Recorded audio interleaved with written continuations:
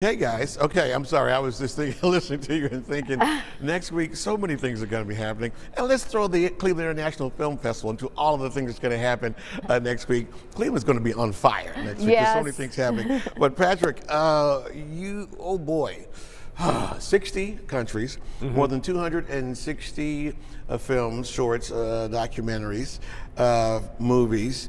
Um, 300 uh, film directors are going to be in town Coming to Cleveland to engage Cleveland audiences. a robust showing of a local talent in the film festival. But Akron has like four different uh, films hap- happening, correct? I love it. My grandmother uh, uh, lived in Akron when I was growing up. Uh, Okay. so I'm I'm pleased to share. Uh, All you hear is noise, which we talked about in the last segment, the documentary about Special Olympians. That's executive produced by LeBron James. Okay, just a kid from Akron. Yes, we've got uh, closing night. Is uh, the film is called Devo, and it's about a documentary about Devo uh, Yeah. from Akron, and then uh, we have a film about the Black Keys. Okay. And then uh, part of our sports section this year, we have a documentary called False Positive, and Mm-hmm. it's about Butch Reynolds, who was a world record holder in track and field. Okay. And he got caught up in uh, a botched uh, steroid test. Back in the late, I think it was late 80s, early Okay, 90s. okay. And it really messed with his career. But this is a great example that Butch Reynolds will be here at Playhouse Square to engage audiences to talk to Clevelanders and Akronites after the film. So as it turned out, it wasn't. He was. He didn't. It was negative. Right. They, Yeah. they they botched it. It was early. It was early on when they started to test for steroids. Wow. Okay. Uh, we're gonna run a little clip from a film. This is interesting.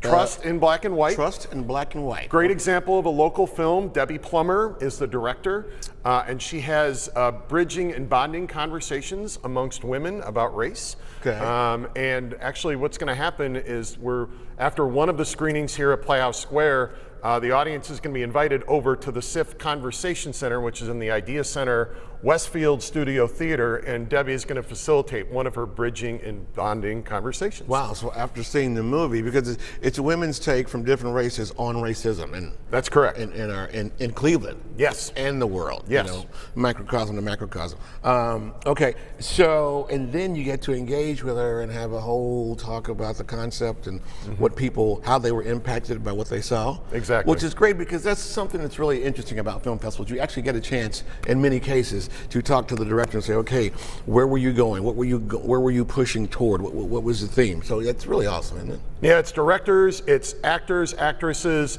subjects of documentaries. Just like I mentioned, All You Hear Is Noise, all three of those Special Olympians are going to be here to engage Cleveland audiences as well. So uh, we have a link to your website. Go on and start researching which ones you want to see because you can't see all 260 plus, right? Right, right. But uh, you have a great opportunity uh, to do this. Uh, about seven days. It kicks off, man. April 3rd through the 13th at Playhouse Square, CIFF 48 streams, April 14th through 21st. Uh, an 11-day festival, correct? Yes, sir. Wow. All right, guys, you got to dig it. 48 years of the Cleveland International Film Festival, and Playhouse Square is our home base. Another beautiful lobby we're in right now. Yep. Back to you guys. So great. Very lucky. Thank you, Kenny.